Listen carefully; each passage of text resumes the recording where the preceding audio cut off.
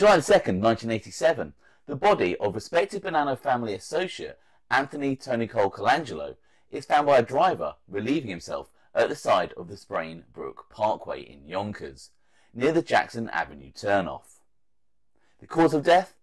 Four bullets to the neck and skull. The authorities would later believe that the primary suspect in the killing was the then 27 year old Vincent Basciano, the future acting boss of the Bonanno crime family. Let's check it out.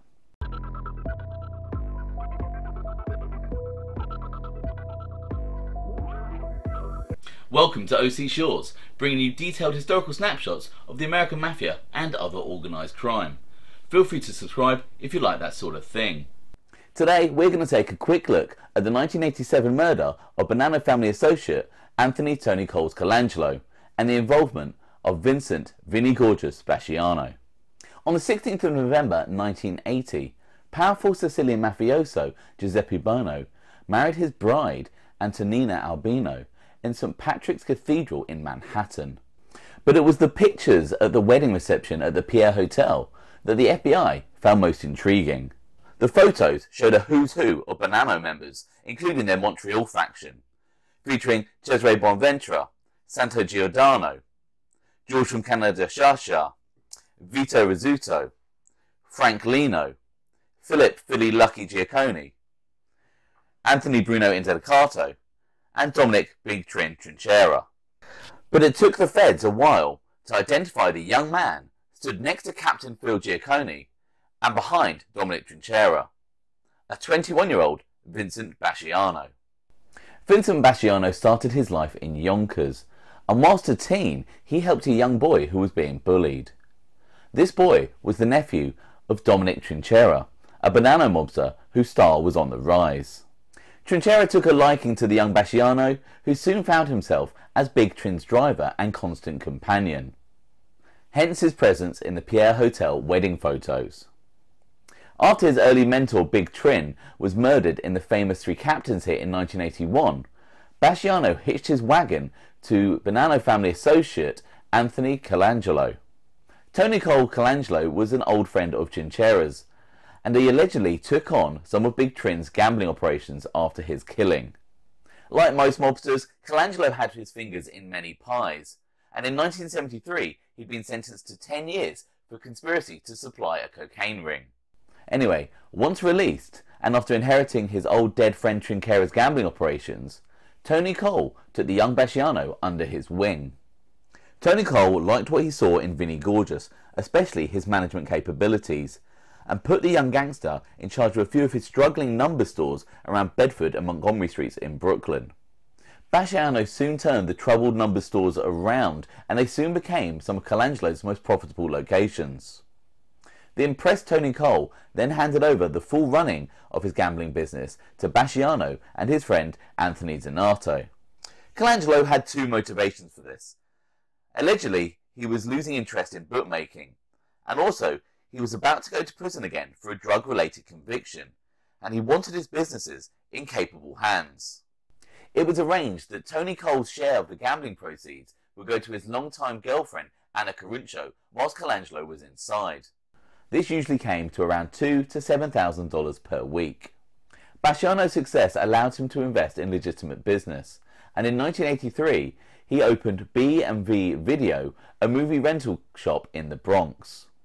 Whilst Tony Cole Colangelo was away in prison, it appears that Basciano started to align himself with Patrick, Patty from the Bronx DeFilippo, a made man in the Bonanno family.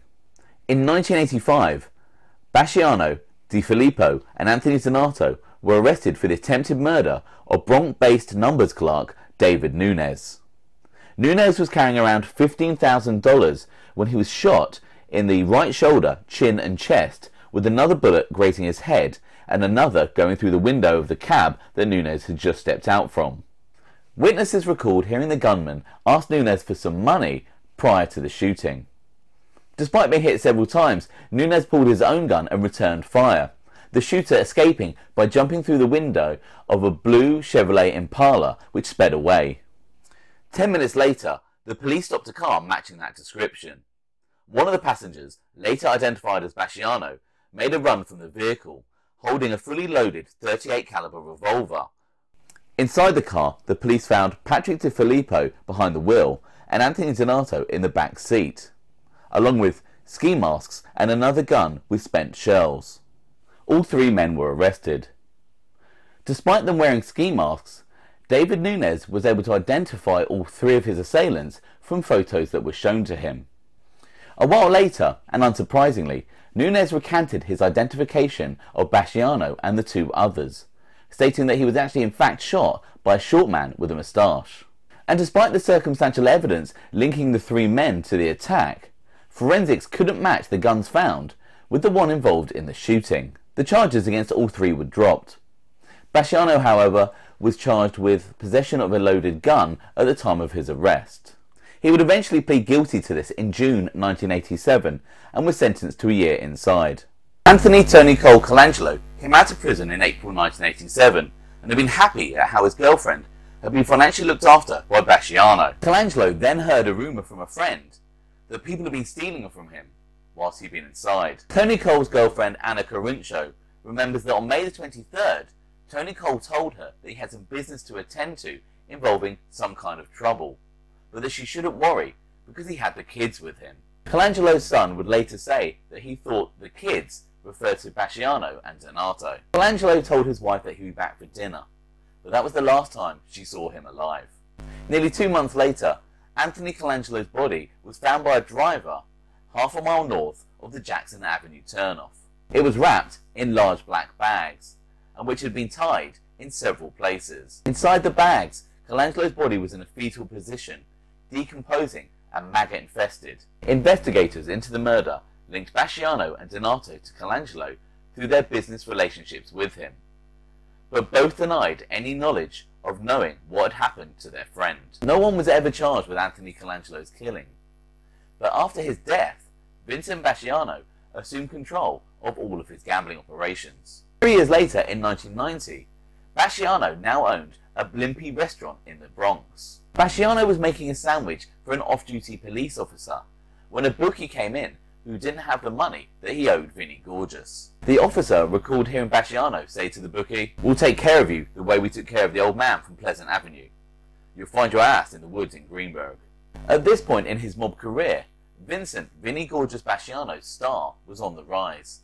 He was 30, a good earner, and not afraid to get his hands dirty. He had managed to avoid any serious convictions, and his Cosa Nostra future looked bright. The betrayals from his boss Joe Massino and from his protege Dominic Cicale lay just 15 years down the line, and would result in Vinnie Gorgeous being sentenced to spend the rest of his life in prison. But that's a story for another day.